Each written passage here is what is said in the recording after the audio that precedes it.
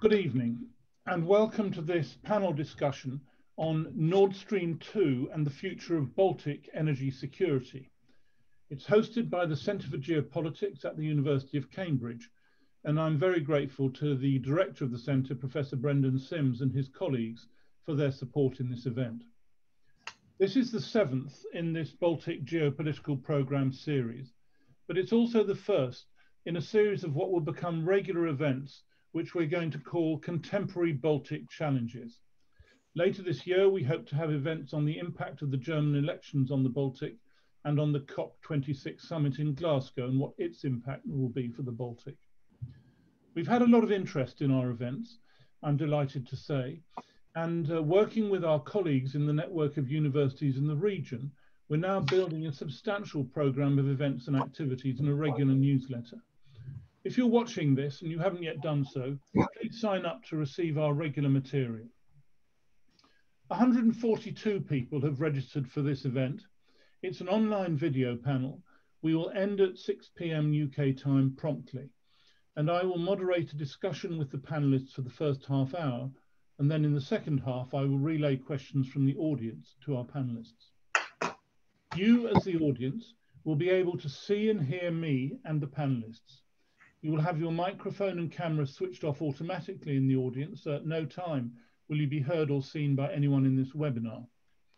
However, you are still able to communicate with me and the panelists.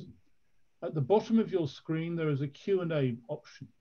Click on it, and when it opens, you have the chance to type questions. If you type questions, please start by writing your name and your affiliation first. If your question is for a specific panelist, please state that at the outset as well. I will try to cover as many of your questions as possible, though in view of the large numbers we've got and the time constraints, we might not be able to address everyone's questions. Finally, I also want to let you know that this video panel is being recorded and will be available after the event, and we'll post the recording on our website. As I say, the, the subject for this evening is Nord Stream 2 and the future of Baltic energy security. It is the longest subsea pipeline in the world. It's 95% complete. And this event is certainly very contemporary, with just in the last couple of weeks, President Biden's US administration deciding to waive sanctions on Nord Stream 2, and just a few days later, Annalena Baerbock, the Green candidate for the Chancellorship of Germany to succeed Angela Merkel, stated that she didn't intend, if elected, to go ahead with the pipeline. And of course, the remarkable events relating to Belarus in the last day or so uh, have brought this subject also into uh, prominence. The concept of this event is to try and deal with the question of where is Nord Stream 2 going? What does the outcome, whatever it is, mean for energy security in the Baltic and the North Sea? We see the Baltic Sea region as currently in the grip of a three-sided ordering struggle between NATO, the European Union and Russia, in which the alignments do not always follow those of their respective camps. Nowhere has this been more the case, as with this issue, the oil and gas pipeline intended to take energy from Russia across the Baltic directly to Germany, bypassing Poland and the Ukraine. The project has been strongly opposed by many Baltic Sea regional states and also by the United Kingdom. Uh, as the new administration of Professor President Biden gears up to tackle this, we're bringing together a panel of experts to discuss where this contentious project is heading next and what the implications are for energy and regional security, and what is Britain's interest in the eventual outcome.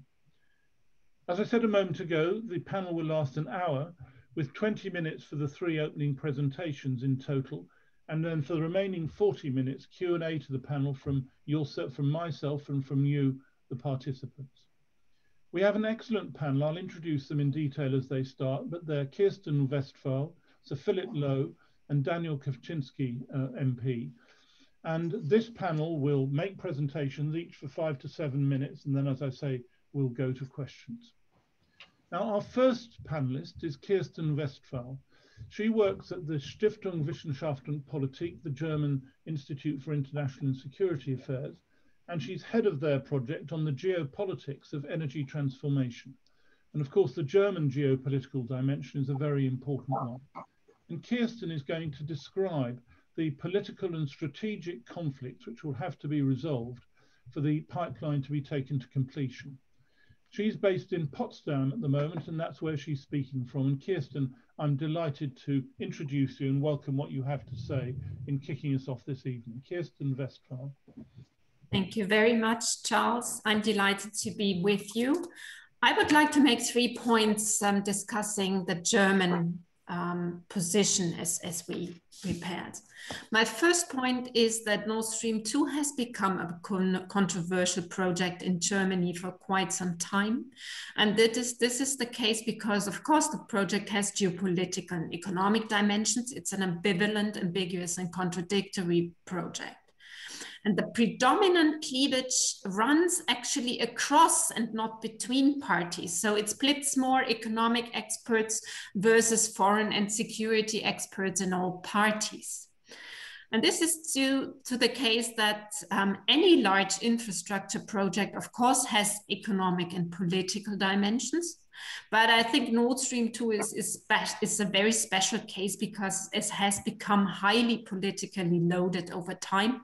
It is a political symbol of how, how is one stand on Russia, on fossil fuels, etc. Since it has kicked off in 2015, the political landscape has, of course, changed and deteriorated compared to 2015. This is due also to um, the German Russian relationship. Think about the Tiergarten murder, the Navalny case, the provocations this year in Eastern Ukraine, and also the hybrid threats we are witnessing and the reports on that. And on the other hand, the US unilateral sanctions, of course, under Trump administration, which were taken no longer in consultation with EU partners, um, and which have rather externalized the cost on German and European companies, are also pressuring and have pressured from the other side and have made the issue an issue of national sovereignty and also undermining actually EU's major tool of regulation.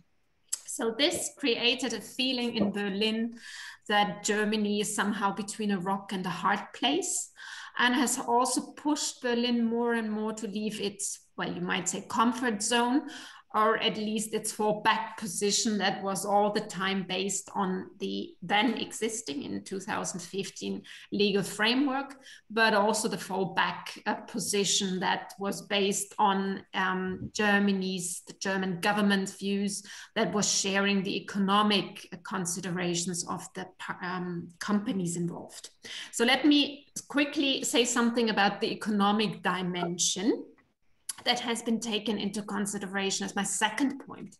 So, kind of the German government's position was A, to compartmentalize the issue, to rely and emphasize interdependence as a means to keep costs high for further deterioration of the relationship and to point to a commercial character of the project, which meant in the German case that it, it was not financed by public money, but rather by companies. And the issue of energy sovereignty was seen as, or energy security was seen as a consequence of geology.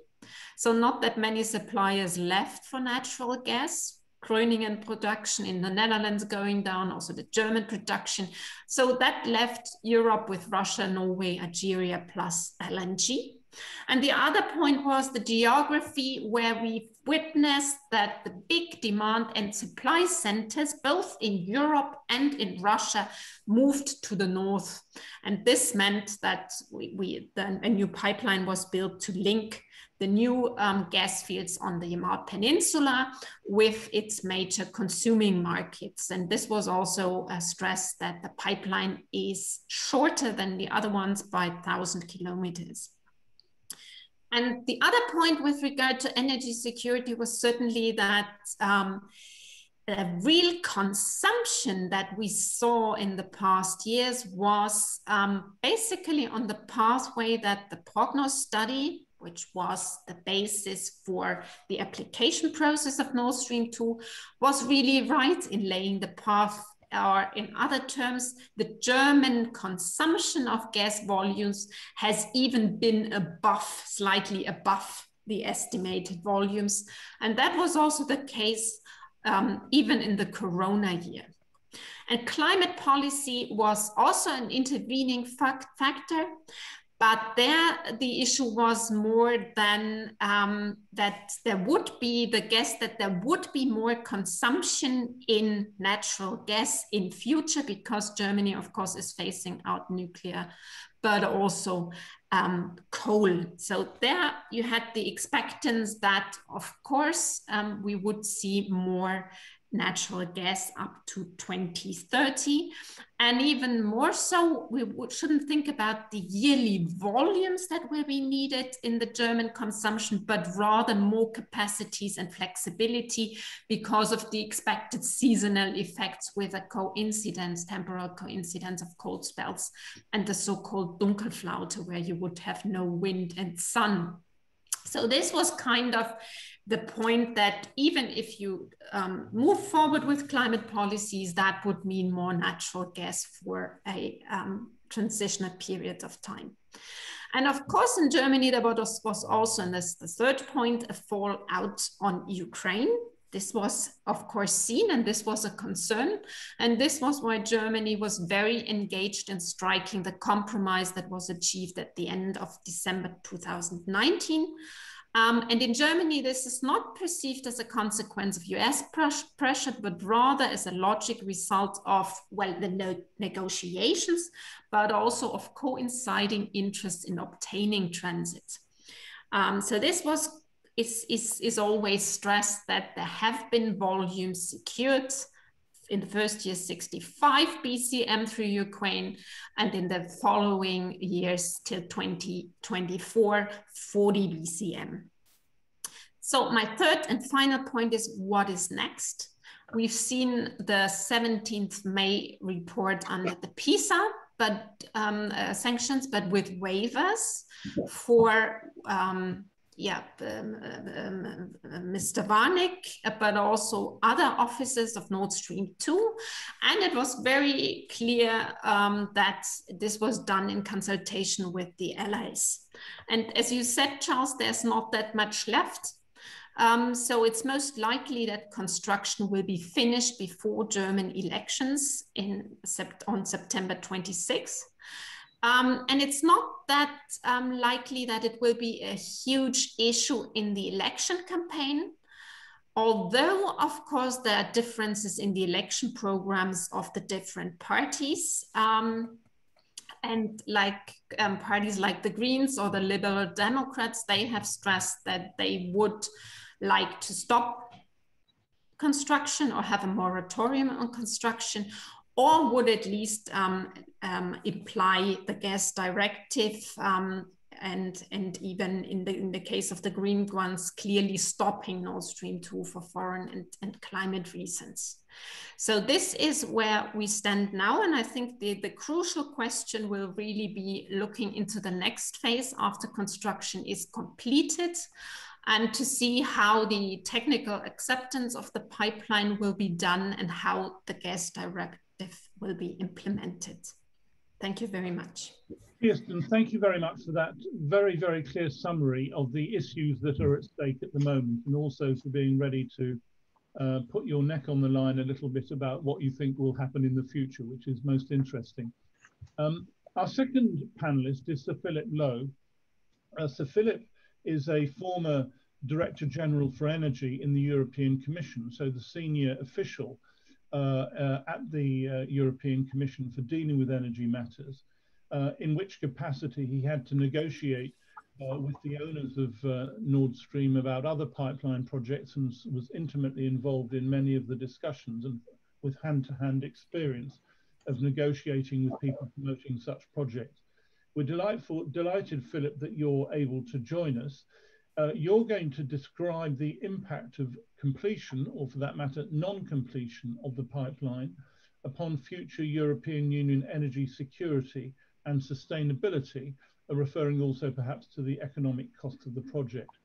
Uh, you're based at the moment on the site of the Battle of Waterloo, which is where you're uh, broadcasting from. So I think with Kirsten coming from Potsdam, and Daniel shortly going to come from uh, the House of, uh, House of Parliament in London, and yourself from Waterloo. You feel impact from key strategic centres of Europe. So, Philip, we're very much looking forward to what you have to say. Thank you very much.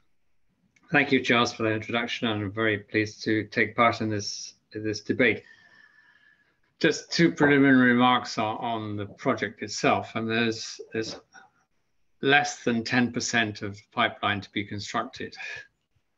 So um, when we talk about um, will the project go ahead, project physically is almost complete.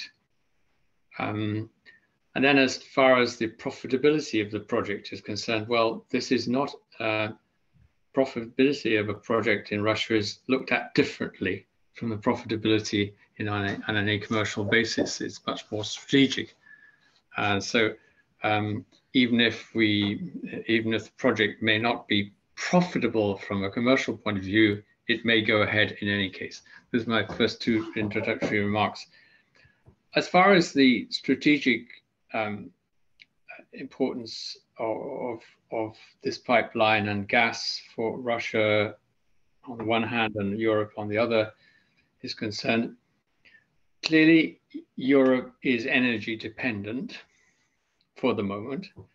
Its reaction to that is to diversify its security of supply, whether it's uh, with, with respect to uh, developing uh, renewables or indeed, in some cases, nuclear, um, but also to, to create a single integrated, interconnected European market in Europe so that no part of the European Union itself would remain an energy island. That is to say, it is no longer, it would be no longer the case that, for example, the Baltic states would be dependent either on gas or, or on electricity for supplies, um, because there would be a strong emphasis on interconnection with Western European markets for both electricity and gas. This is not so far the case for electricity. The Baltics remain dependent on Russian electricity in their systems, but it is it is the case more and more for for uh, gas, where we have not only just uh, LNG facilities being developed in Lithuania and elsewhere, but also interconnectors between Finland and the Baltic states, between um, Finland, Norway, uh, north of Germany, etc., which is the first and first response of the European Union to the issue of security of supply in itself. Now, on the Russian side, of course, they have energy independence on fossil fuels, but they have economic dependence on export of fossil fuels. They are economically dependent on their export of oil, gas, and coal. And the European Union remains, despite attempts to develop uh, links with China, uh, the major importer of Russian uh, fossil fuels. Um, and the Russian attitude to development of infrastructures to the West, um, don't forget that the pipelines from Ukraine uh, across Ukraine were not originally planned to have a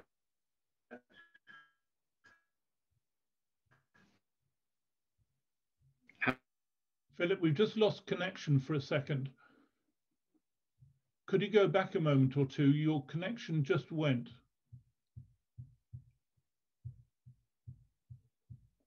No, I can't. Uh, we've lost you there, Philip, I'm afraid.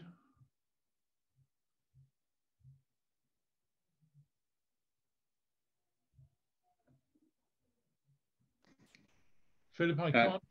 Uh, yes, you're back now. Philip, we lost you for a little while there. Yeah. Okay. Just, just the, for on the Russian side, the real emphasis was on provide uh, ensuring a security of demand through provision of the infrastructures necessary to deliver Russian gas to to Europe.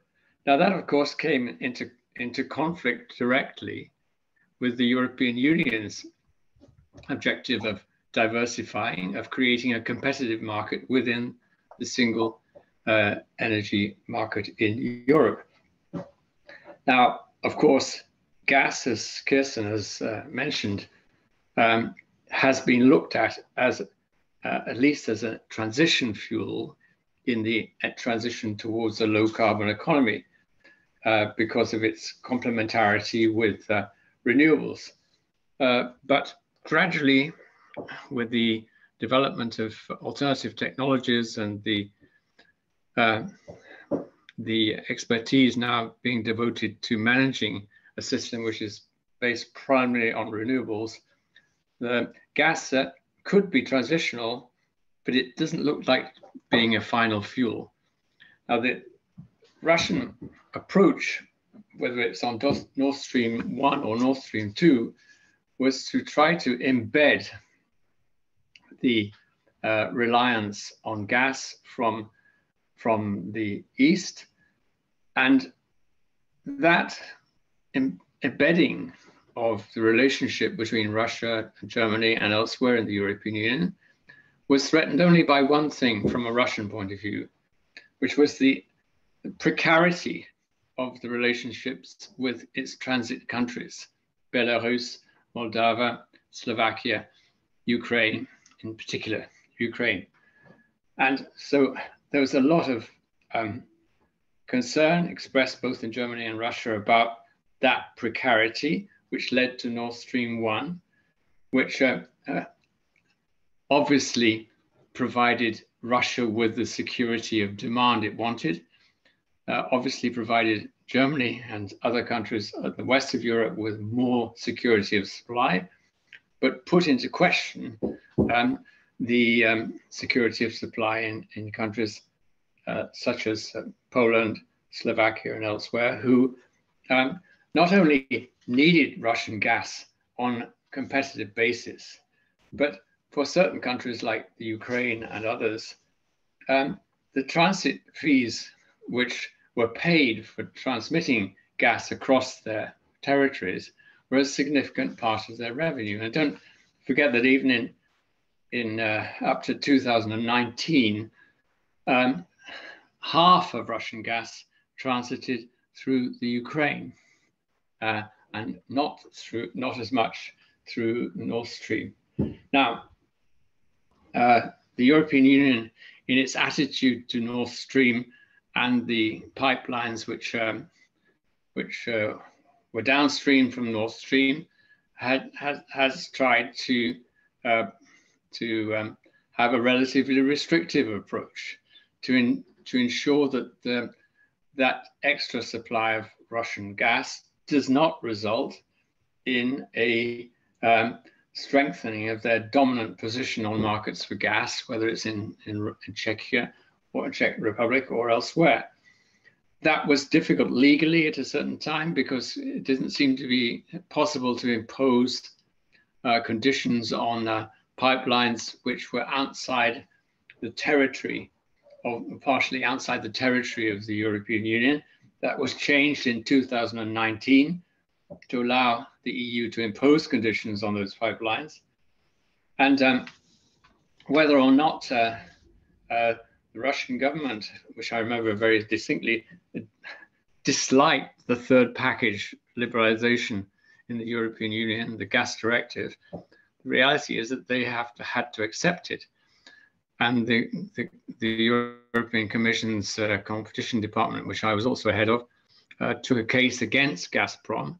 And the result was that uh, Gazprom had to settle with the, the Commission, had, had to promise not to uh, ban, uh, not to uh, put any conditions on, for example, reverse flow of gas back into Ukraine or Slovakia, uh, from, for example, North Stream, had to agree that there would be no ex export bans and no destination, destination clauses.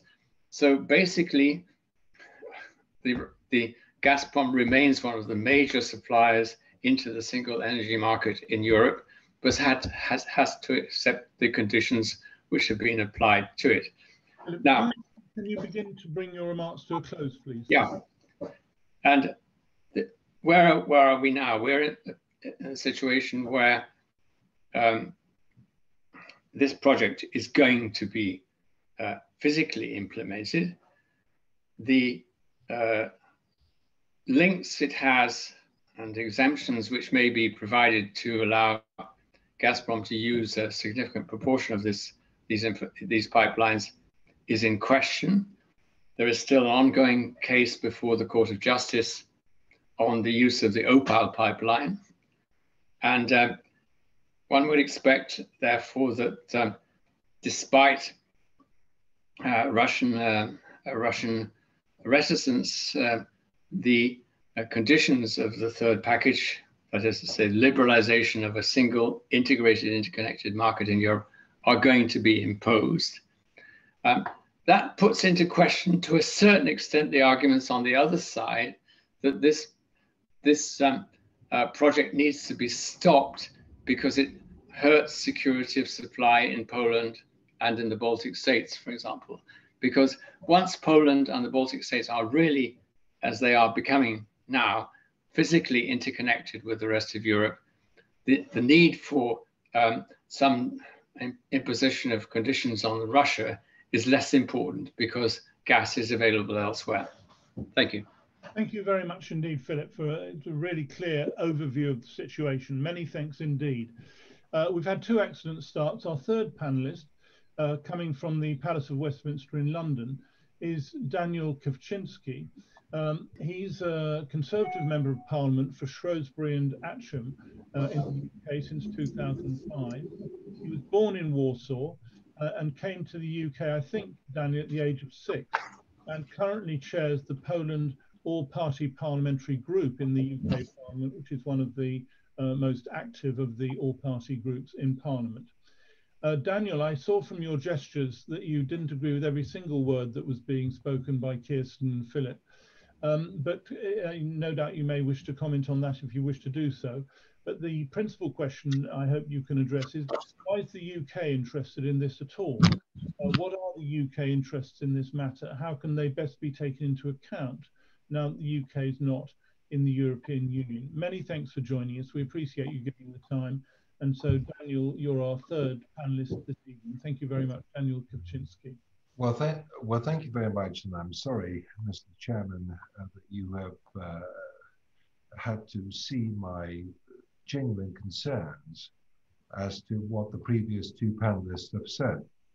There are other friends of mine online who have expressed concerns about my vocal um, and facial concerns and distortions as to what I've heard so far from Philip Lowe and Kirsten Westphal.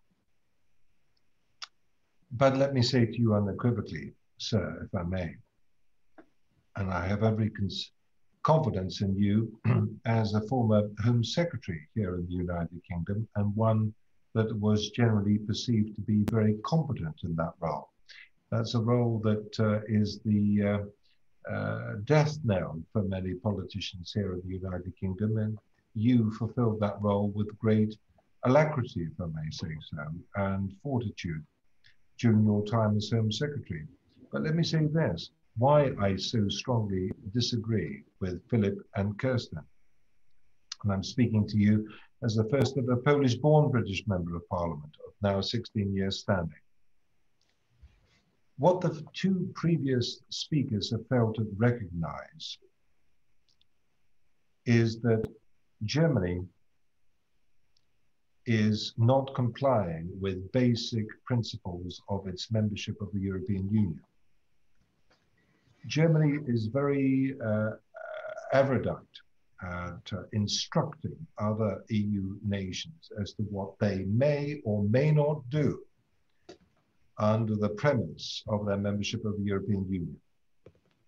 And we do not have, unfortunately, the time at the moment in this one hour discussion for me to be able to explain to you all of the areas in which Germany has legally, through the EU courts and the panoply of other measures that it has its, its disposal, uh, at its disposal, in putting pressure on countries in Central and Eastern Europe to comply with what it perceives to be common EU standards and principles.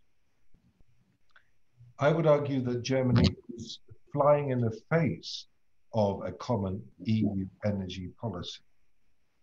I would also say that, and this is relevant to the United Kingdom, it is behaving in a way not compliant with its responsibilities as a member of NATO. And this is where Britain comes to the fore.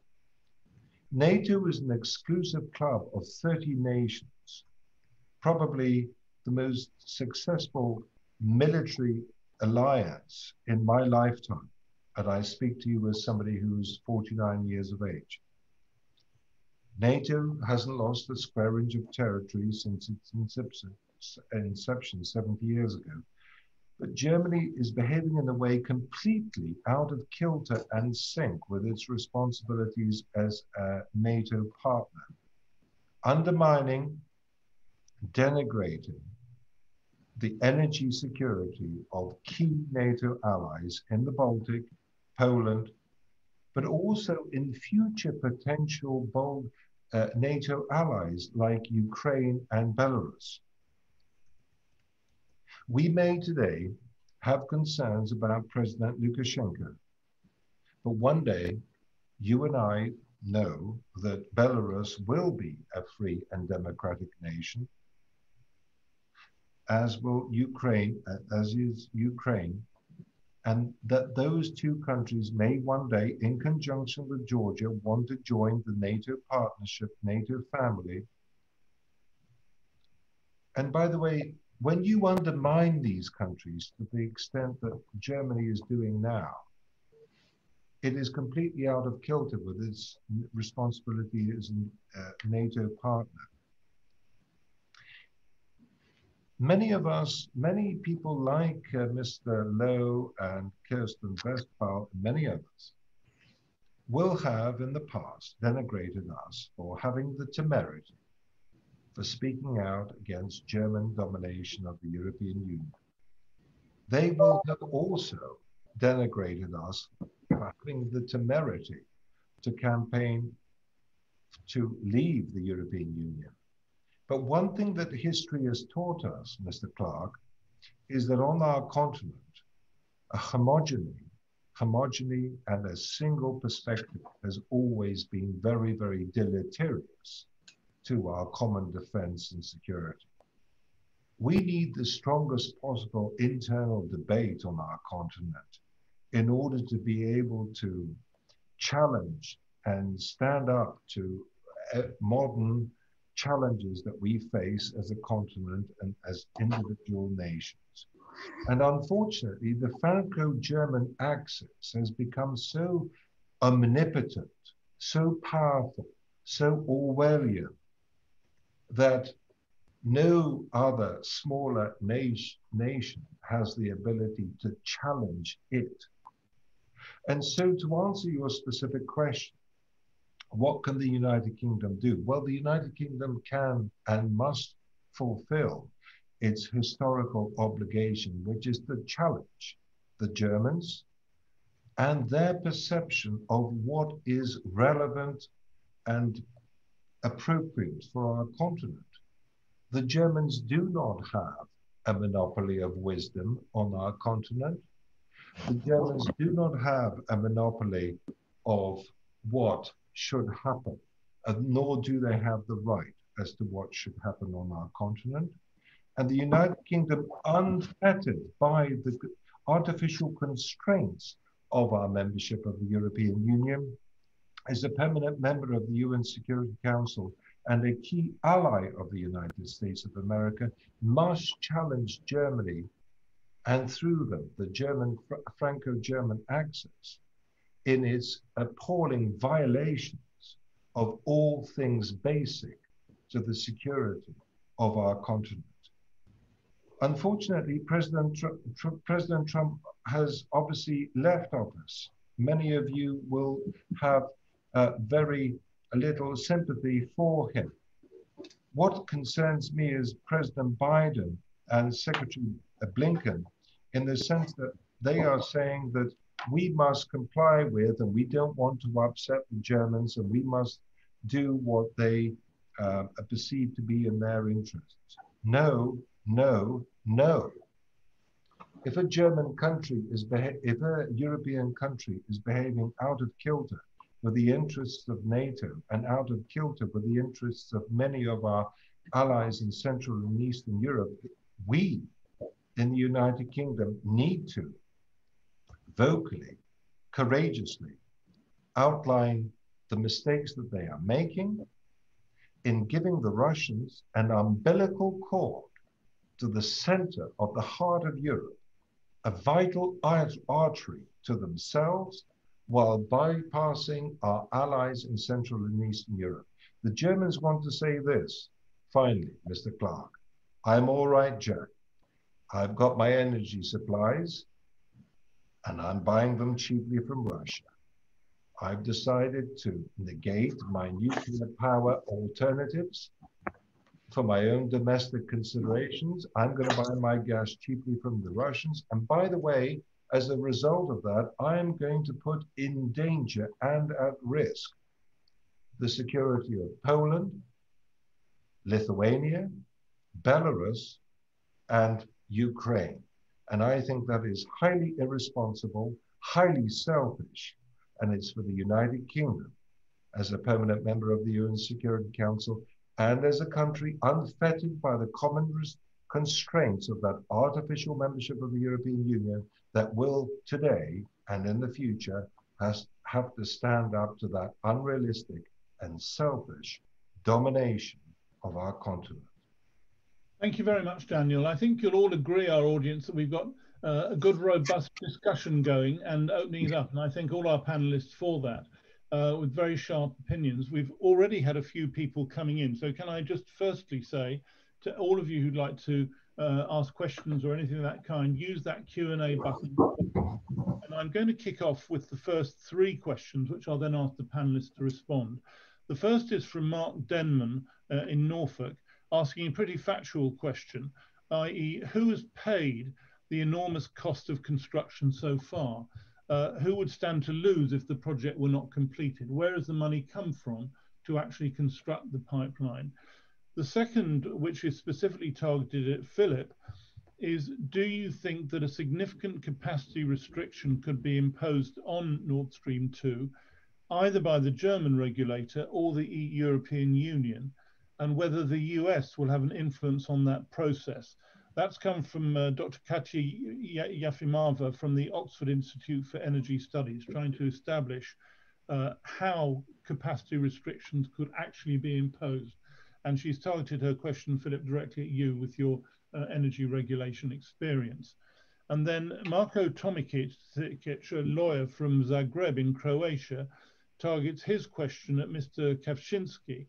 He says, if we're already talking about the importance for peace in Europe and given the causes and implications of World War II, isn't it really important that we have a strong connection between Moscow and Berlin? He argues. Um, and then he takes uh, issue with uh, Daniel, your what he calls very annoying generalization of entire peoples, Germans and Russians, and trying to uh, make the point that there's divisions of opinion and interest within those uh, people. So I'm going to go around the group and perhaps kick off with you, Kirsten, on this point about who actually paid the cost of construction, who would stand to lose. What's your understanding of that? Well, my understanding is, is of course, that it's um, nearly 10 billion euro project and 50% is coming from Gazprom and then from the five European companies as uh, financial supporters of the project. But indeed, it's it's not very transparent at the moment how much funds have been really paid. And this is, well, also partly, I say partly, um, a consequence of US sanctions pressure, which um, is of course um, a difficulty for the companies involved. So some have um, openly said that they have withdrawn. So what is clearly the case if if there the project will not be operating. It will be, of course, um, um, lost rents for, for Russia and Gazprom, but also for the Euro European companies that were involved. Thank you. That's very clear, Kirsten. And Philip, on this point about who can impose capacity restrictions on the pipeline, um, uh, where is, is that a German regulation? Is it the European Commission, European in operating? And what's US influence in that process?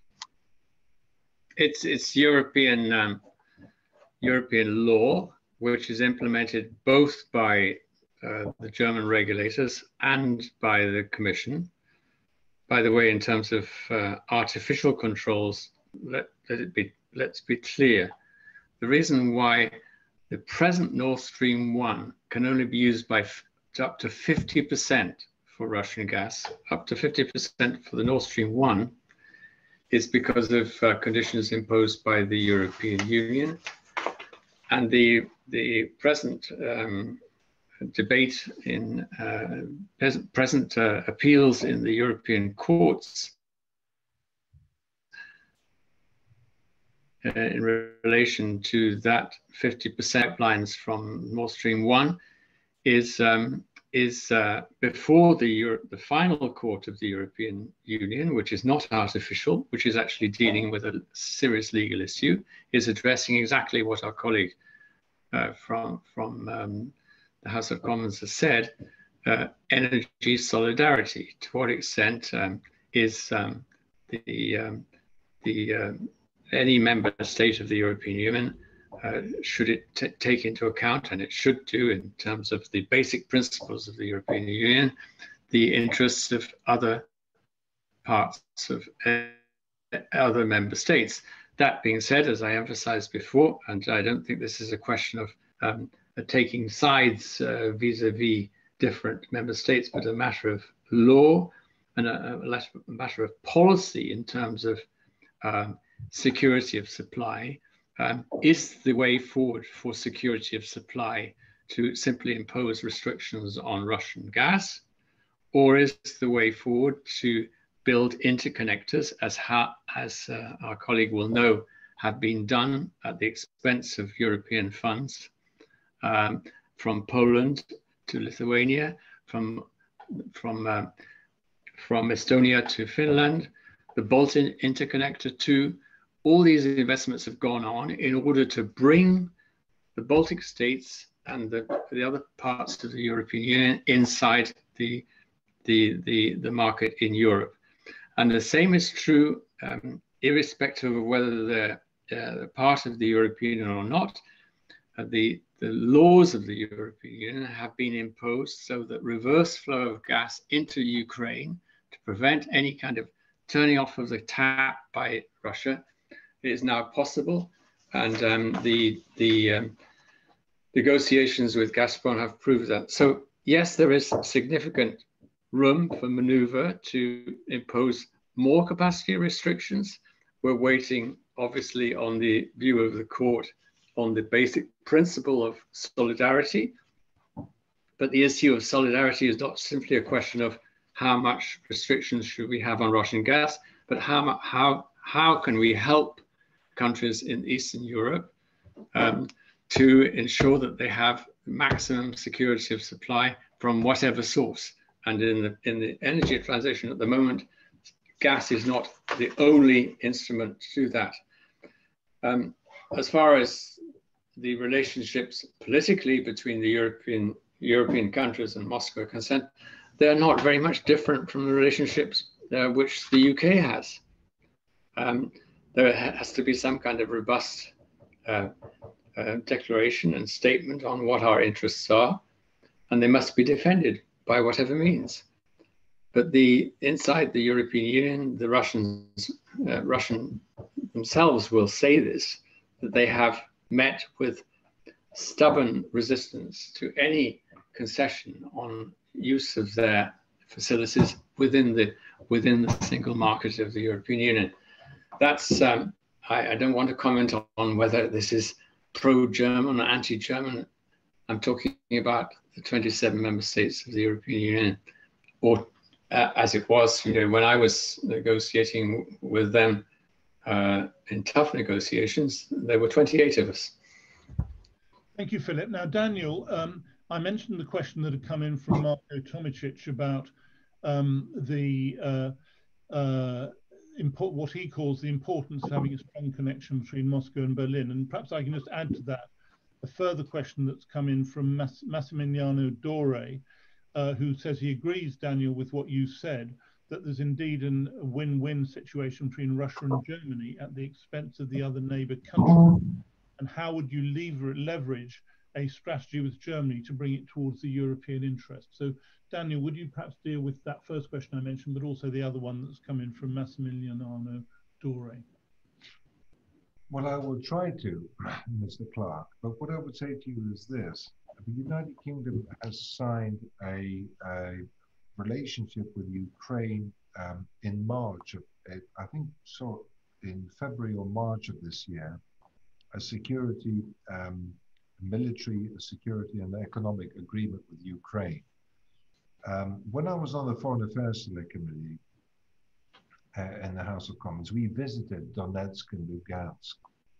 It's the only time in my career as being a Conservative Member of Parliament for 16 years, not as long as you, Mr. Clarke, but for 16 years I've been a Conservative Member of Parliament. And it's the only time that I felt that um, when I went to Donetsk and Lugansk, it was the only time that I felt I was walking on the face of the moon.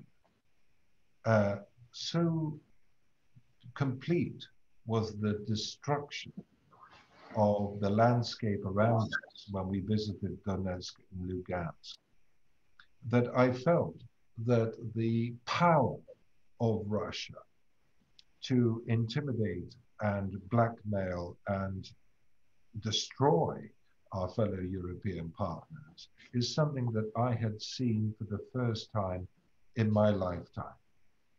Um, I had read stories about uh, Warsaw in 1944, um, but this is the first time that I had seen total destruction in my lifetime.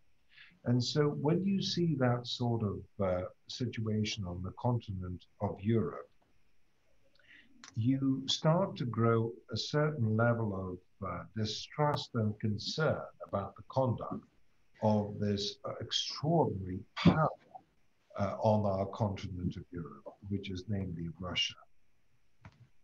And, you know, this pipeline is going to deprive Ukraine of $4 billion a year. I think that's the conservative uh, estimate. It may be far more, but I would use the conservative estimate of depriving Ukraine of $4 billion a year of transit fees and making sure that this gas goes through Ukrainian territory to its more lucrative markets in the West. I've been to the Polish oil and gas company where they have shown me where the Russians haven't turned off supplies, but what they've done is very cleverly, cleverly is to turn the knob to a certain degree and to a certain increment to demonstrate their omnipotence in the supply of gas and energy and that they can and will have a deleterious impact on certain economic activities in Poland unless all of their wishes are complied with. This pipeline enables the Russians, gives them a much greater fortitude, power, and resilience to continue to intimidate, blackmail, and threaten our security partners in Central and Eastern Europe, because of course they will now have finally the ability to completely turn off the taps while supplying their lucrative Western markets in Germany and France and beyond former President Trump sat round a breakfast table with Jens Stoltenberg, the Norwegian Secretary General of NATO. And he said this to him. If you Google it, Mr. Clarke, he will say that. He said this. By the way, if there's one thing I believe in, it's NATO. 30 countries uh, being members of this exclusive club, which has, hasn't lost a square inch of territory since its inception 70 years ago. But President Trump said this to Jens Stoltenberg. What is the purpose of you telling us to defend your continent with American soldiers? And by the way, we are sending American soldiers to the Baltic states and Poland on the rotational basis. What is the purpose of you instructing us as American taxpayers, as American citizens, to continue to send our soldiers at the risk of their lives and to continue to send tens of billions of American dollars for the protection of Central and Eastern Europe when you are giving, when Germany is giving tens of billions of dollars directly to our potential adversary. Mr. Clarke, I used to take my daughter to the Polish-Russian border every every year on summer holidays. There's a there's a resort called Piaski in Poland where I used to take my daughter every year on holiday. And I turned around to her and I said, darling, this is where NATO meets, this is where NATO meets Russia. This is the most highly militarized part of Europe. On that side of the border is a massive, massive installation of rockets, tanks, military equipment, radar installations. These people are ready to attack and intimidate and threaten and cajole not just Poland, but the whole of NATO. Mr. Trump, former President Trump, was absolutely right. What is the purpose of the British taxpayers spending so much money in defending the whole of the continent of Europe from a potential Russian aggression, which, by the way, we already see on the border between Russia and Poland, when the Germans are going out of their way to supply our potential adversary with tens of billions of dollars every year for their energy supplies. Thank and you. the last thing I would say to, the, to you is this, Mr. Clarke. According to the House of Commons, the United Kingdom only purchases 2.1% of all gas supplies, actually potentially less than 2% of all gas supplies from Russia. That should also be the case for the Germans. Okay, thank you very much. We've got the combination of the uh, polemical, if I can put it like that, and the factual situation about what's going to happen. And that's reflected in the final three questions that have come in, which I'm then going to ask you all to respond to again. David Coleman asks, without Nord Stream, where will Germany and others get their gas? If it didn't work, where would Germany get its gas?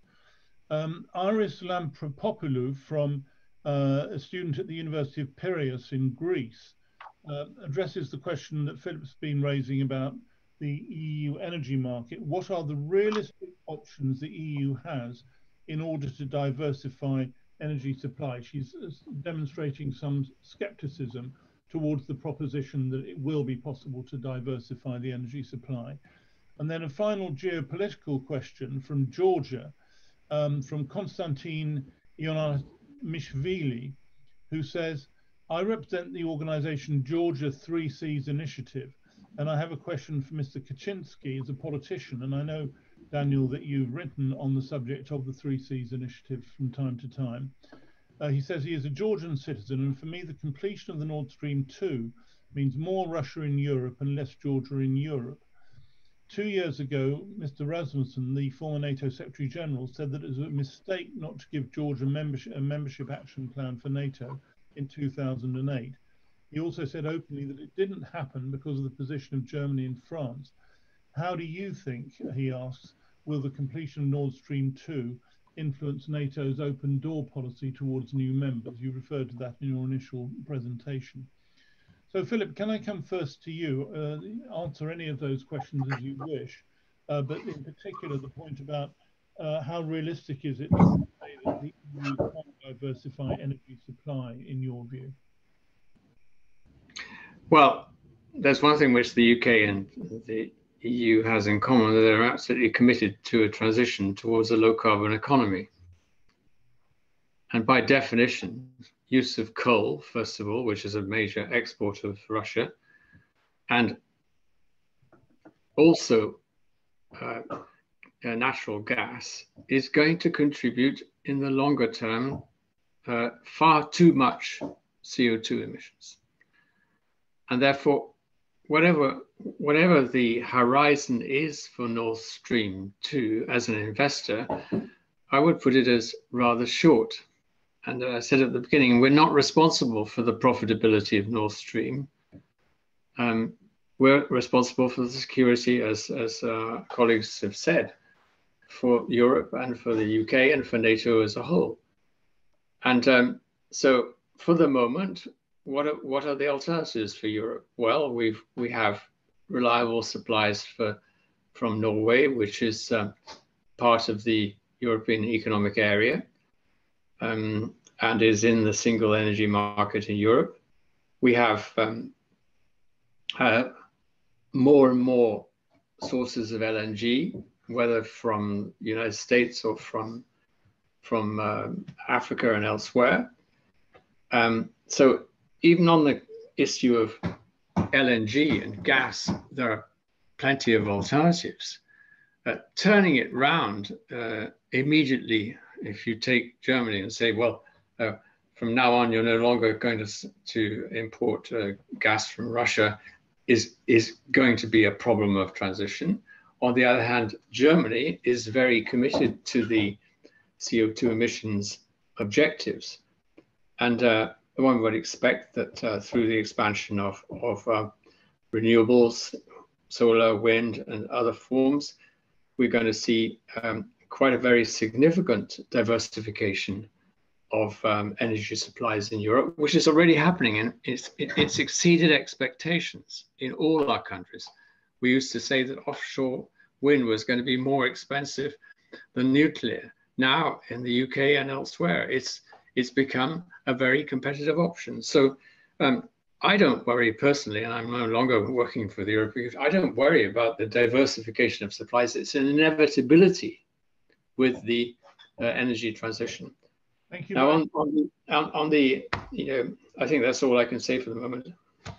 Thank you very much indeed, Philip. We're running towards the end, so I'm going to ask first Daniel and then Kirsten to respond to the questions that are there, and then I shall uh, sum up.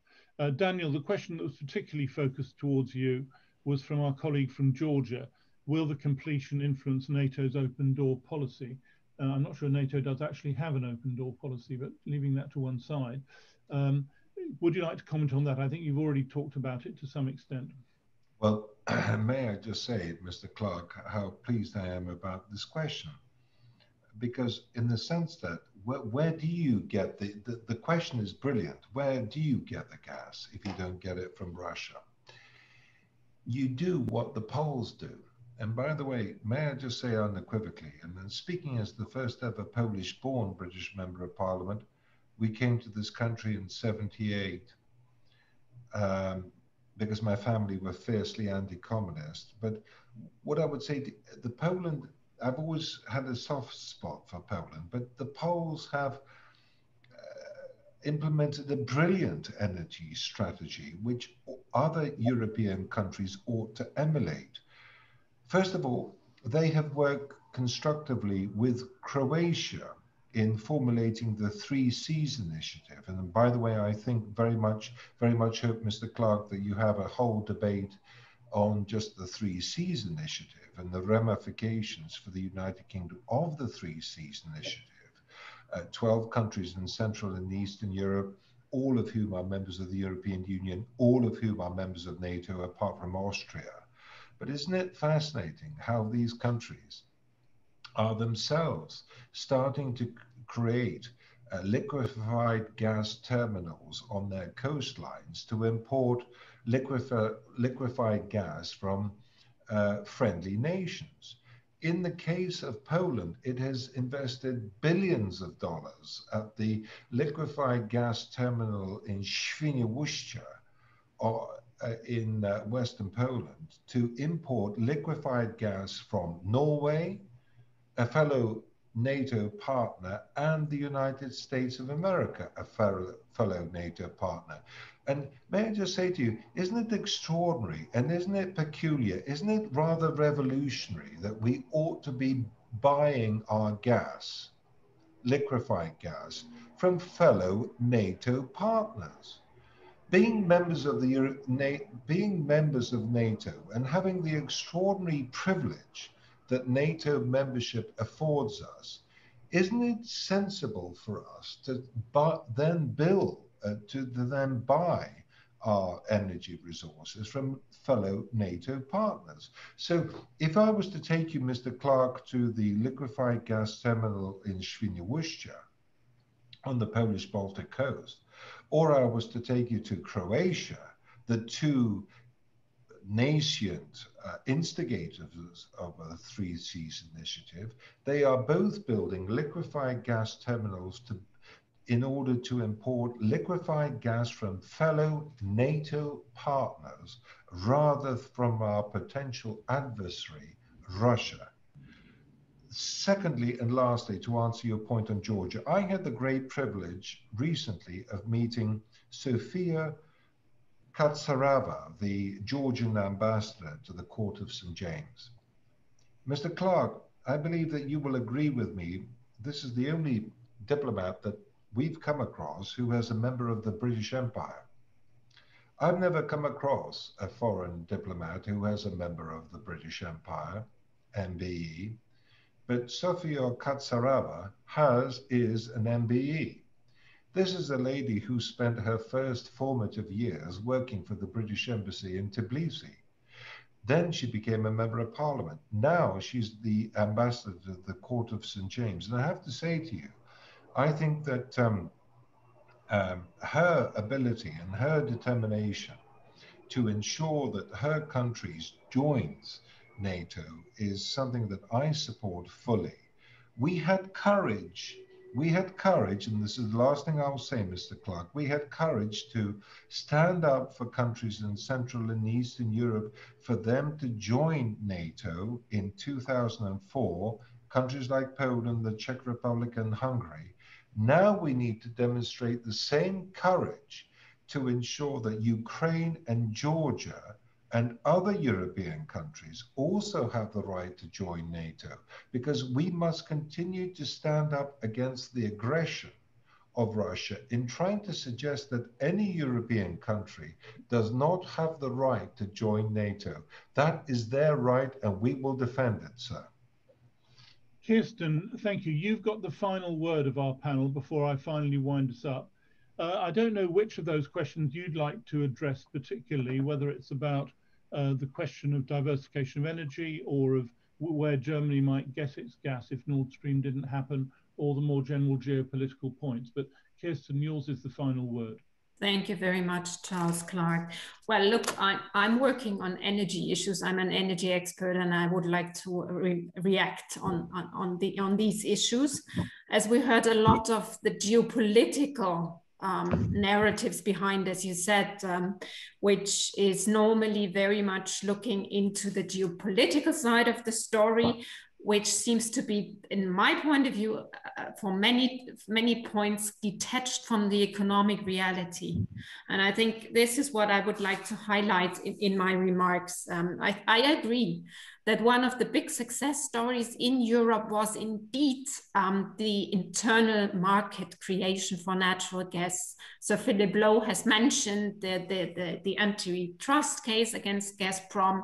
He has mentioned the, the interconnectors, the reverse flows. And I would really say that also the Three Seas initiative is a success story with regard to opening, but also integrating Ukraine into the um, energy market. We've seen huge um, storage levels this winter in Ukraine, and we've we've seen that Ukraine is becoming a part of Eastern Europe, and this is part of the whole story of EU regulation, but also market flows. And and what I sadly observe still is quite a a closure, foregone closure of the Polish um, market, which I think the next step should really um, opening up the Polish market after it has diversified as, as um, Mr.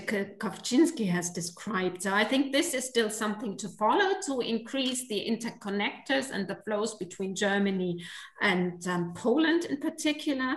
My third point, or my second point indeed, is on, on the energy security issue. And once again, Nord Stream 2, to be very precise, to me, Nord Stream 2 is neither a threat to European energy security, nor is it a must. It's just an add on which has a price dampening effect, which is important, well, for German industry, for German gas uh, consumers, but also electricity consumers. And it's not just Germany, it's also the Netherlands, it's also Austria looking into that. And I don't see a French German axis, by the way. It has rather been quite an opposition for some time by France. So, so I, I can't see that point. What does Nord Stream 2 is increasing flexibility and liquidity. And this is why I talked about the price dampening effect. And, and if you ask me diversifying, well, we have the geography of natural gas supplies, and I can only echo what uh, Sir, Sir, Sir, Philip Lowe has said, um, and, and add that there will be more volumes coming out of Qatar. We've also seen record levels of Russian LNG into um, the European gas market, but this is how the market um, works. And my third and final point is I know that, that the whole discussion um, around feeding the beast, which Germany is blamed for and others, but we've seen in the same time uh, in, uh, under the Trump administration, um, the US spending a lot of dollars for oil imports from Russia. Thank you very much indeed, uh, Kirsten. Um, I'd like to thank all of our panel for what's been a very, very stimulating discussion.